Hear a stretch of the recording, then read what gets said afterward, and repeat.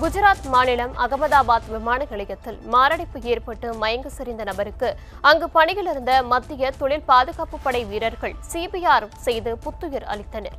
நீண்ட நேரம் முயற்சித்து உயிரை காப்பாற்றிய வீரர்களுக்கு அங்கிருந்த பொதுமக்கள் பாராட்டு தெரிவித்தனர். இது குறித்த வீடியோவையும் இணையவாசிகள் அதிகமாக பகிர்ந்த வீரர்களின் செயலை பாராட்டி வருகின்றனர்.